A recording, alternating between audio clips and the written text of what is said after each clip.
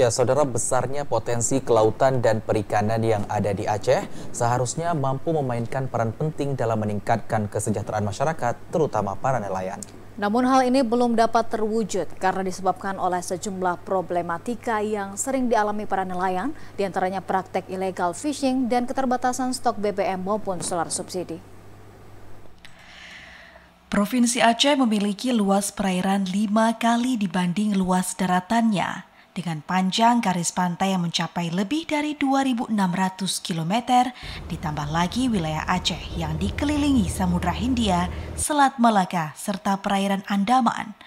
Potensi lestari perikanan laut Aceh diperkirakan mencapai 270 ribu ton per tahun dengan jumlah kapal penangkap ikan lebih dari 17 ribu unit dan jumlah nelayan lebih dari 70 ribu orang.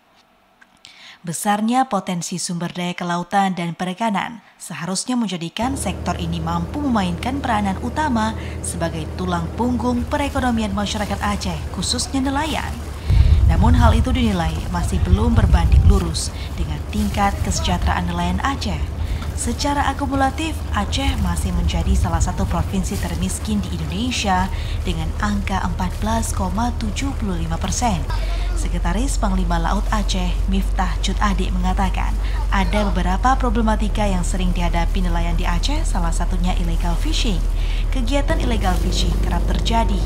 Dua contoh di antaranya penangkapan ikan secara ilegal oleh nelayan asing dan penggunaan alat tangkap terlarang seperti bow.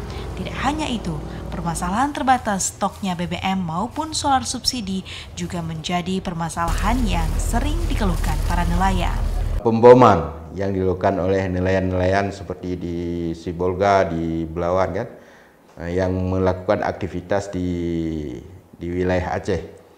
Nah, ini jadi permasalahan kita. Baru-baru ini juga uh, pernah ditangkap beberapa nelayan dari luar Aceh yang melakukan aktivitas di Aceh dengan menggunakan pemboman. Problemnya kita adalah BBM, bahan bakar minyak, terus sama solar subsidi.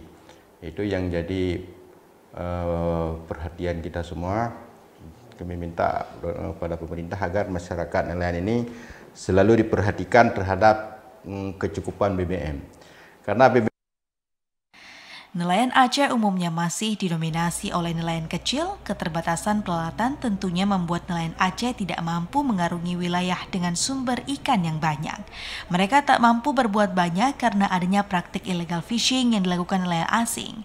Kurangnya ketersediaan BBM maupun solar subsidi juga seakan menjadi permasalahan yang tak kunjung usai.